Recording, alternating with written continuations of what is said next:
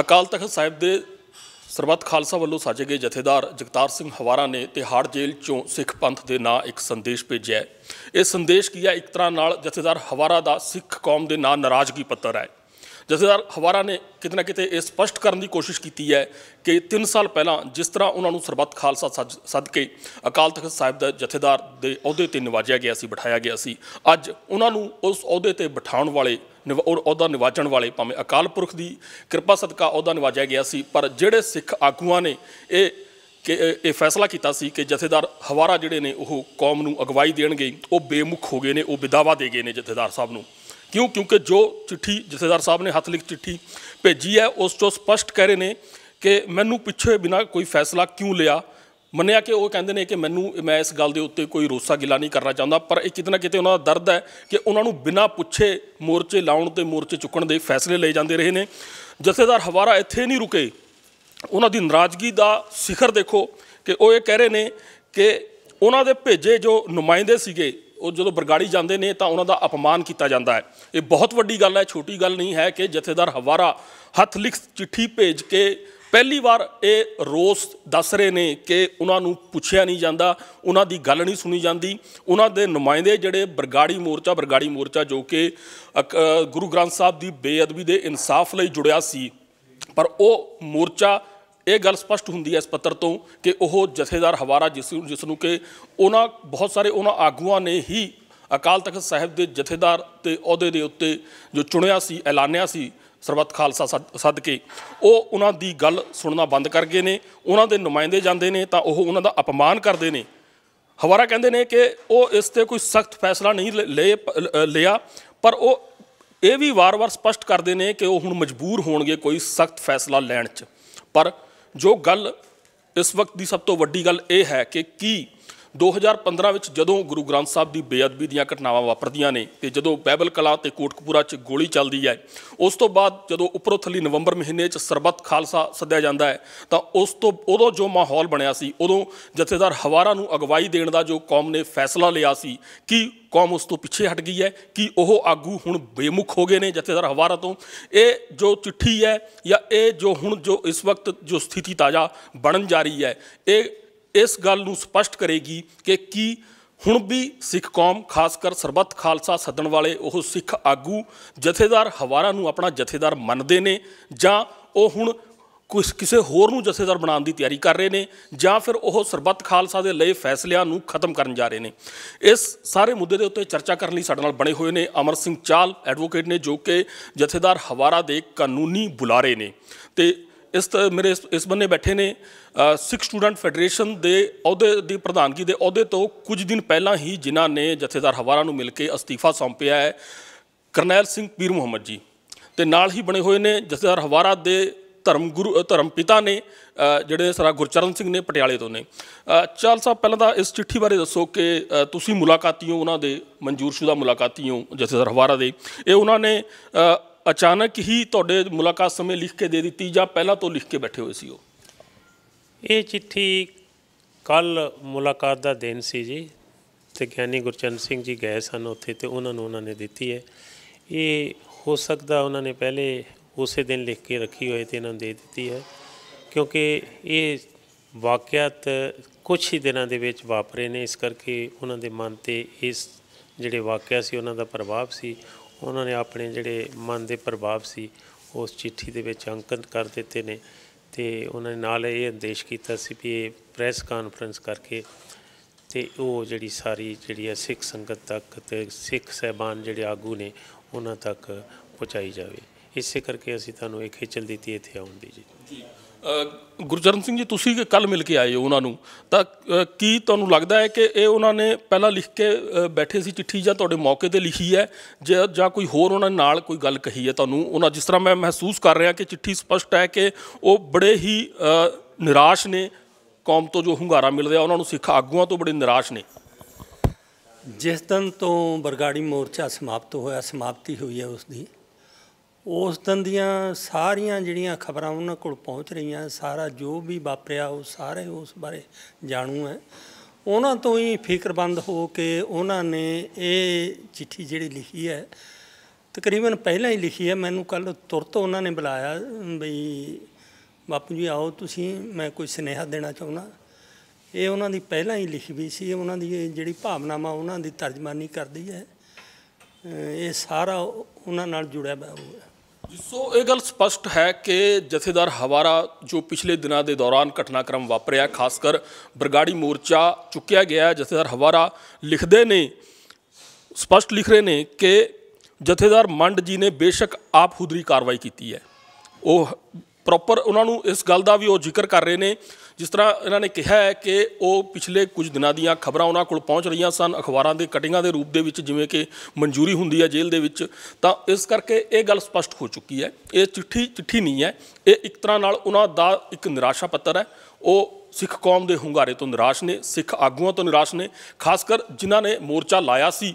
ਉਹ ਸਪਸ਼ਟ ਕਹਿ ਰਹੇ ਨੇ ਕਿ ਮੈਨੂੰ ਪੁੱਛੇ ਬਿਨਾ ਲਾਇਆ ਗਿਆ ਸੀ, ਮੈਨੂੰ ਪੁੱਛੇ ਬਿਨਾ ਚੁੱਕਿਆ ਗਿਆ ਹੈ, ਆਪ ਖੁਦਰੀਆਂ ਕੀਤੀਆਂ ਨੇ, ਉਹਨਾਂ ਦੇ ਨੁਮਾਇੰਦੇ ਜਾਂਦੇ ਨੇ ਤਾਂ ਉਹਨਾਂ ਦਾ ਅਪਮਾਨ ਹੁੰਦਾ ਹੈ। ਇਹ ਜੋ ਗੱਲਾਂ ਨੇ, ਇਹ ਕੋਈ ਆਮ ਨਹੀਂ ਹੈਗੀਆਂ, ਕਿਉਂ? ਕਿਉਂਕਿ ਸਰਬੱਤ ਖਾਲਸਾ ਸਦਕੇ ਜਥੇਦਾਰ ਹਵਾਰਾ ਨੂੰ ਜਥੇਦਾਰੀ ਦਿੱਤੀ ਗਈ ਸੀ।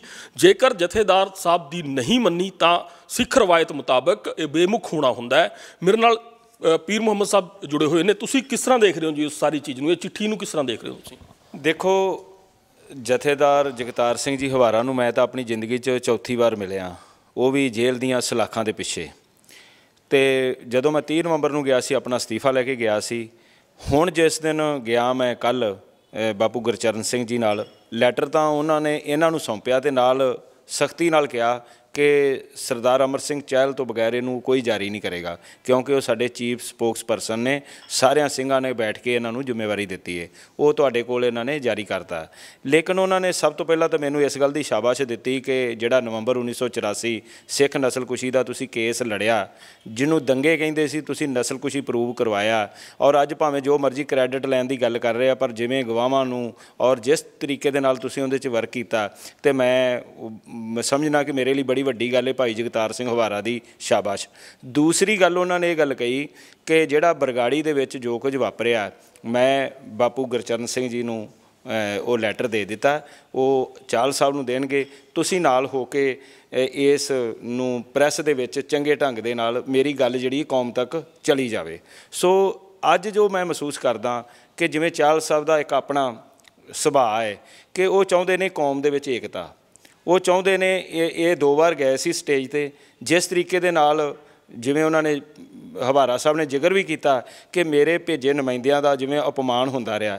ਲੇਕਿਨ ਮੈਂ ਸਮਝਣਾ ਕਿ ਸਿੱਖ ਦਾ ਗੁਣ ਹੀ ਇਹ ਹੋਏ ਕਿ ਉਹ ਆਪਣਾ ਅਪਮਾਨ ਸਹਿ ਕੇ ਵੀ ਕੌਮ ਦੇ ਭਲੇ ਵਾਸਤੇ, ਕੌਮ ਦੇ ਦਰਦ ਨੂੰ ਮੁੱਖ ਰੱਖ ਕੇ ਉੱਥੇ ਕਰੇ। ਜਿਹੜੀ ਫੰਡ ਦੀ ਗੱਲ ਚੱਲਦੀ, ਇਹ ਵੀ ਉੱਥੇ ਆਪਣੇ ਦਸਵੰਧ ਦੇ ਵਿੱਚੋਂ ਉਹਦੇ ਵਿੱਚ ਸੇਵਾ ਕਰਕੇ ਆਏ ਆ, ਦੋ ਵਾਰ ਕੀਤੀ ਇਹਨਾਂ ਨੇ।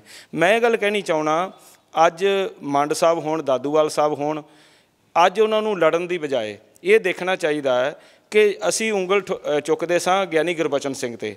ਅਸੀਂ ਉਂਗਲ ਚੁੱਕਦੇ ਸਾਂ ਬਾਦਲਾਂ ਦੇ ਉੱਪਰ। ਤੇ ਅੱਜ ਸਾਡੇ ਉੱਪਰ ਕਿਉਂ ਕੌਮ ਉਂਗਲ ਚੁੱਕ ਰਹੀ ਹੈ? ਸਭ ਤੋਂ ਵੱਡਾ ਸਵਾਲ ਇਹ ਆ ਕਿ ਅਸੀਂ ਕਿੱਥੇ ਗਲਤ ਹੋ ਗਏ? ਉਹ ਕੌਮ ਜਿਹੜੀ ਪੱਬਾਂ ਭਾਰ ਹੋ ਕੇ ਤਨ, ਮਨ ਤੇ ਧਨ, ਸਿੱਖ ਦੇ ਕੋਲ ਤਿੰਨ ਹੀ ਚੀਜ਼ਾਂ ਨੇ। ਉਹ ਤਿੰਨੇ ਬਰਗਾੜੀ ਮੋਰਚੇ ਤੋਂ ਨਿਸ਼ਾਵਰ ਕਰਦੀਆਂ। ਲੇਕਿਨ ਫਿਰ ਵੀ ਅੱਜ ਕੌਮ ਨਿਰਾਸ਼ਾ ਦੇ ਵਿੱਚ ਹੈ ਤੇ ਜਥੇਦਾਰ ਸਾਹਿਬ ਨੂੰ ਜਿਹੜੀਆਂ ਜੇਲ੍ਹ ਦੀਆਂ ਸਲੀਖਾਂ ਪਿੱਛੇ ਜਾ ਕੇ ਵੀ ਇਹ ਮਹਿਸੂਸ ਹੋ ਰਿਹਾ ਹੈ ਕਿ ਮੇਰੀ ਕੌਮ ਦੇ ਵਿੱਚ ਏਡੀ ਵੱਡੀ ਨਿਰਾਸ਼ਾ ਕਿਉਂ ਆਈ?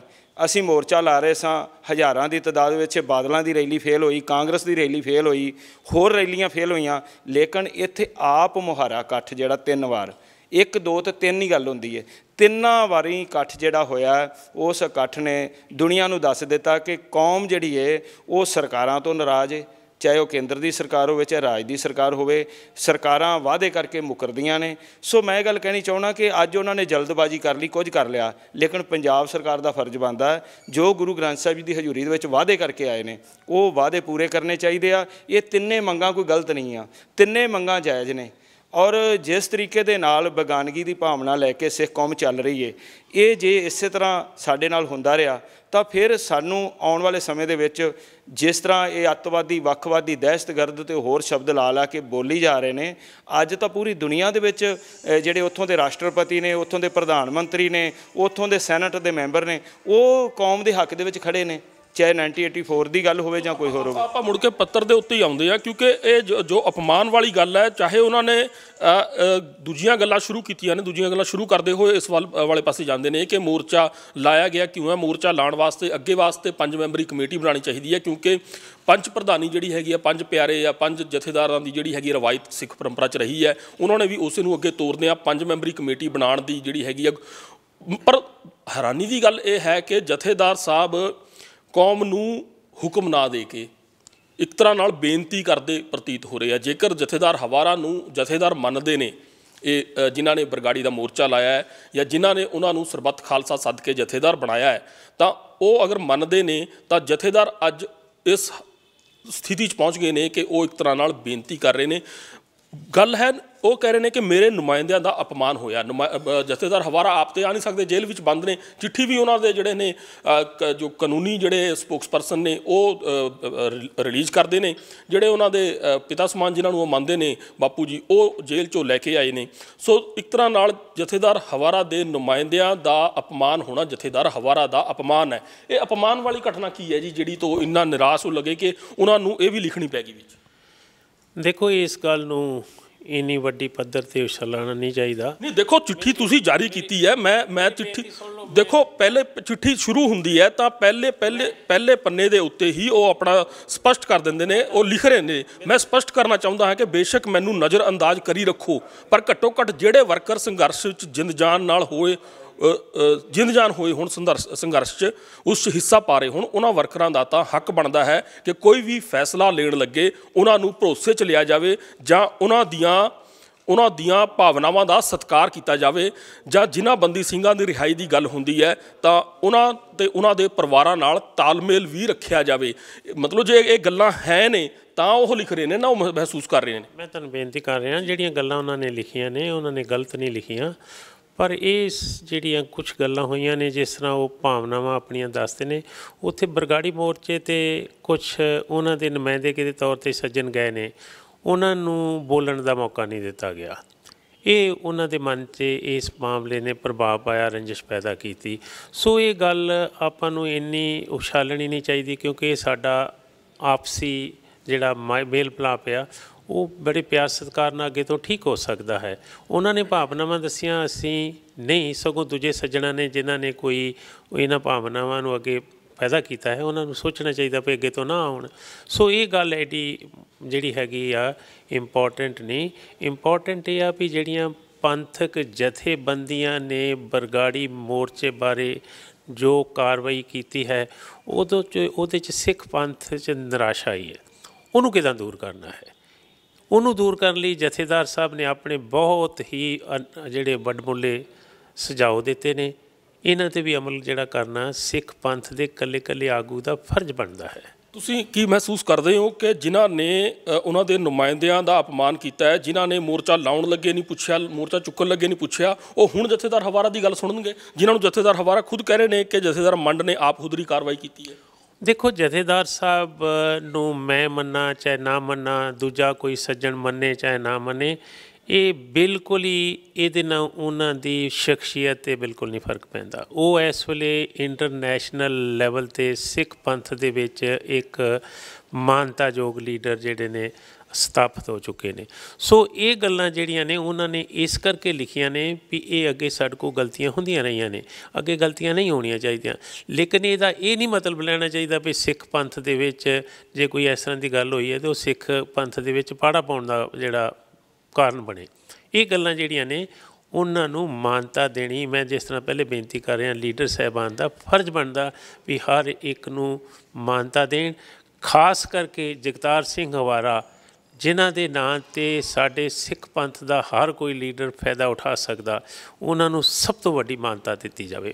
ਉਹਨਾਂ ਨੂੰ ਮਾਨਤਾ ਦੇਣੀ ਮਤਲਬ ਆ ਸਾਰੇ ਪੰਥ ਨੂੰ ਮਾਨਤਾ ਦੇਣੀ ਆ। ਉਹਨਾਂ ਨੂੰ ਮਾਨਤਾ ਦੇਣੀ ਆ ਪੰਥ ਦੀਆਂ ਰਵਾਇਤਾਂ ਦੀਆਂ, ਕਦਰਾਂ ਕੀਮਤਾਂ ਦੀਆਂ ਜਿਹੜੀਆਂ ਨੇ, ਉਹਨਾਂ ਦਾ ਜਿਹੜਾ ਹੈ, ਉਹਨਾਂ ਨੂੰ ਠੀਕ ਤਰੀਕੇ ਦੇ ਨਾਲ ਚਲਾਉਣ ਦੀ ਗੱਲ ਹੋ ਸਕਦੀ ਹੈ। ਸੋ ਇਹ ਗੱਲ ਜਿਹੜੀ ਹੈ, ਜਥੇਦਾਰ ਸਾਹਿਬ ਨੇ ਲਿਖ ਤੇ ਦਿੱਤਾ ਹੈ, ਲੇਕਿਨ ਜਥੇਦਾਰ ਸਾਹਿਬ ਦੀ ਜਿਹੜੀ ਸਭ ਤੋਂ ਵੱਡੀ ਸੋਚਣੀ ਹੈ ਉਹ ਸਿਰਫ ਤੇ ਸਿਰਫ ਅਸਾਰੂ ਹੈ ਵੀ ਸਿੱਖ ਪੰਥ ਦੀ ਚੜ੍ਹਦੀ ਕਲਾ ਲਈ ਆਪਾਂ ਸਾਰਿਆਂ ਨੂੰ ਕਦਮ ਪੁੱਟਣੇ ਚਾਹੀਦੇ ਨੇ।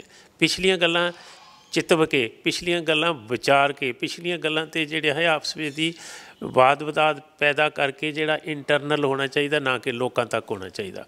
ਚਲ ਸਾਹਿਬ, ਇਹ ਤੁਸੀਂ ਚਿੱਠੀ ਜਿਵੇਂ ਬਾਪੂ ਜੀ ਨੇ ਦੱਸਿਆ ਹੈ ਕਿ ਬੀਤੇ ਕੱਲ ਹੀ ਮੰਗਲਵਾਰ ਨੂੰ ਇਹ ਤਿਹਾੜ ਜੇਲ੍ਹ ਦੇ ਵਿੱਚ ਮੁਲਾਕਾਤ ਕਰਕੇ ਆਏ ਨੇ ਤਾਂ ਉਦੋਂ ਉਹਨਾਂ ਨੇ ਲਿਖੀ ਹੋਈ ਸੀ ਤੇ ਇਹਨਾਂ ਨੂੰ ਦਿੱਤੀ ਹੈ।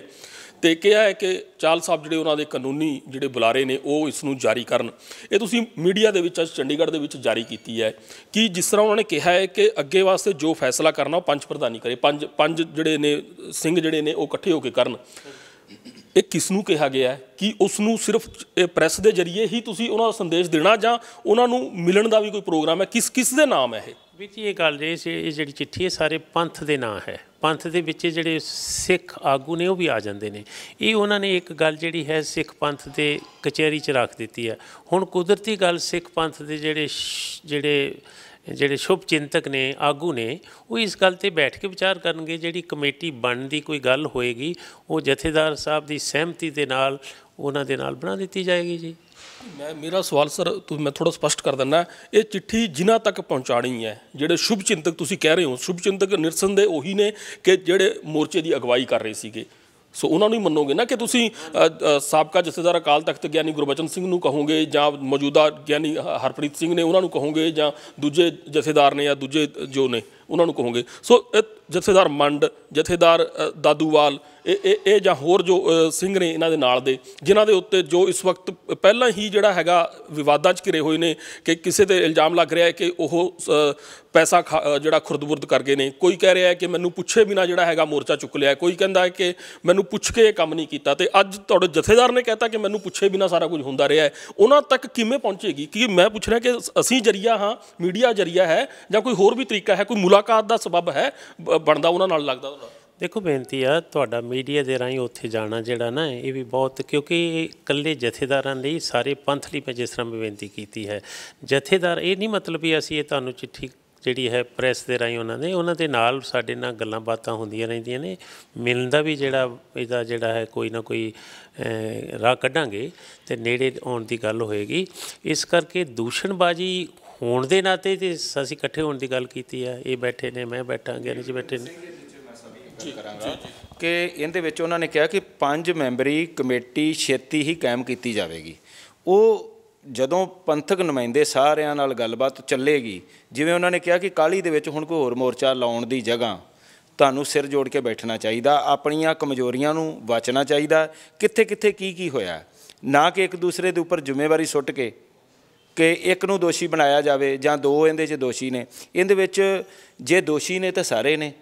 ਜੇ ਦੋਸ਼ੀ ਜੇ ਮਾਂਡ, ਮੰਡ ਸਾਹਿਬ ਦੀ ਇੱਕ ਜ਼ਰੂਰ ਗੱਲ ਸੀ, ਜਿਹੜੀ ਉਹਨਾਂ ਨੇ ਪਹਿਲੇ ਦਿਨ ਕਹੀ ਸੀ 1 ਜੂਨ 2018 ਨੂੰ, ਕਿ ਮੈਂ ਇਕੱਲਾ ਬੈਠਾ, ਮੇਰੇ ਕੋਲ ਕੌਮ ਦੀਆਂ ਜਥੇਬੰਦੀਆਂ ਆਉਣ ਜਾਂ ਨਾ ਆਉਣ, ਮੈਂ ਉਦੋਂ ਉੱਠਾਂਗਾ ਜਦੋਂ ਪੰਜਾਬ ਦਾ ਮੁੱਖ ਮੰਤਰੀ ਇੱਥੇ ਪਹੁੰਚੇਗਾ ਤੇ ਤਿੰਨ ਮੰਗਾਂ ਮੰਨ ਕੇ ਜਾਵੇਗਾ। ਸੋ ਮੰਡ ਸਾਹਿਬ ਨੇ ਕੀਤੀ ਕਾਲੀ ਕੀਤੀ, ਉਹਦਾ ਵੀ ਉਹਨਾਂ ਨੇ ਜ਼ਿਕਰ ਕਰ ਦਿੱਤਾ। ਜੇ ਮੰਡ ਸਾਹਿਬ ਨੇ ਇਹਦੇ ਵਿੱਚ ਹੋਰ ਕੋਈ ਗੱਲਾਂ ਕਿਸੇ ਨੇ ਕੀਤੀਆਂ, ਪਰ ਮੈਂ ਇਹ ਗੱਲ ਕਹਿਣੀ ਚਾਹਣਾ ਕਿ ਖਾਲਸਾ ਪੰਥ ਦੀ ਏਕਤਾ ਜਿਹੜੀ ਏ, ਪੰਥਕ ਜਥੇਬੰਦੀਆਂ ਦੀ ਏਕਤਾ, ਕਿਉਂਕਿ ਜੇਲ੍ਹਾਂ ਦੇ ਵਿੱਚ ਜਿਹੜੇ ਨਜ਼ਰਬੰਦ ਨੇ, ਜੇਲ੍ਹ ਇੱਕ ਦਿਨ ਦੀ ਹੋਵੇ ਜਾਂ ਕਿੰਨੇ ਦਿਨਾਂ ਦੀ ਹੋਵੇ, ਉਹ ਬੜੀ ਔਖੀ ਏ। ਉਹ ਵੀ ਉਹਨਾਂ ਦੀ, ਜਿਨ੍ਹਾਂ ਨੂੰ ਪੰਜਾਬ ਤੋਂ ਬਾਹਰ ਰੱਖਿਆ ਗਿਆ। ਔਰ ਉਹਨਾਂ ਦੀ ਕਦੇ ਵੀ ਰਿਹਾਈ ਦੀ ਸੰਭਾਵਨਾ ਨਹੀਂ ਬਣ ਰਹੀ।